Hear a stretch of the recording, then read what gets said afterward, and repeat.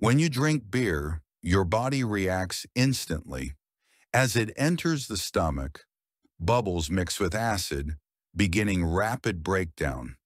In the intestines, tiny nutrient particles are absorbed into the bloodstream, spreading through every organ, from the brain to the muscles, giving short bursts of energy and mild stimulation.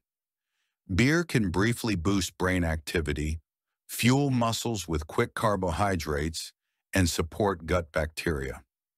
These effects spread like glowing currents through the body. But beer also has downsides.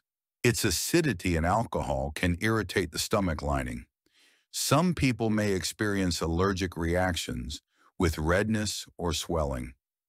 Sugars from beer create a fast blood sugar spike, forcing the body to work harder to balance it. And as these effects fade, energy drops, leaving the body tired, drained, and low on power. Every sip sends your body on this rapid journey from absorption to benefits, and finally to the side effects that follow.